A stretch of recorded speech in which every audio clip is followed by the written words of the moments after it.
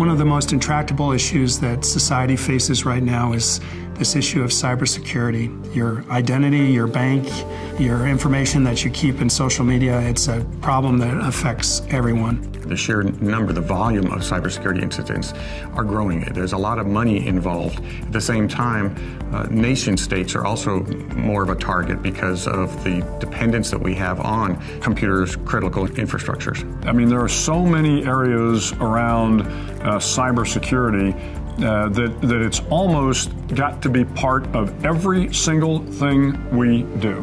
But if you don't start tackling those things now and aggressively, you're going to be behind the power curve when it comes to dealing with cyber threats. San Antonio has emerged as the second largest cluster of cybersecurity assets outside of the national capital region because of what I could call a complete ecosystem.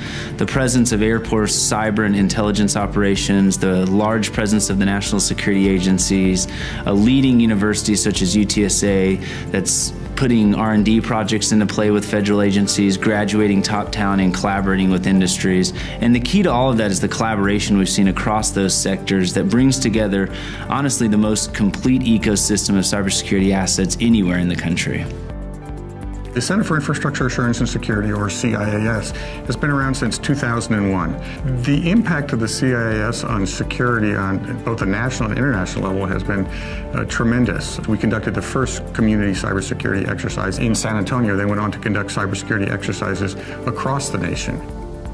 The strategic importance of cybersecurity has been recognized in UTSA. And in 2007, when the Institute for Cybersecurity was founded, there was a recognition that uh, we need to also emphasize uh, research. So, our main mission in the Institute for Cybersecurity is to produce PhD graduates and gain uh, a reputation as one of the major research centers in the country. The Center for Security and Privacy Enabled Cloud Computing is a $5 million grant award that UTSA received from the National Science Foundation. What's really neat about it is it's across many different colleges. It's in the College of Engineering, College of Science, College of Business, and so we're able to provide scholarships and research experiences to students to study and do research in cloud security. We're a research university, and what we do best is innovate, bring new ideas to bear we can help our country around the cybersecurity issues that we face by bringing the talent of our students and our faculty to bear on these grand challenges.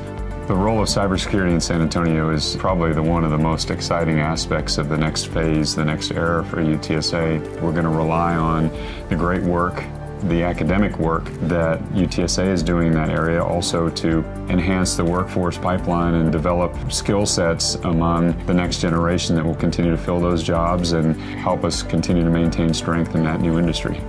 UTSA has launched an effort to house the National Security Collaboration Center as a means to bring our talented faculty and students within an environment to work directly with the problem sets of the, our federal partners and using the nimbleness of our private companies to come up with creative solutions uh, to counter the threats of cybersecurity.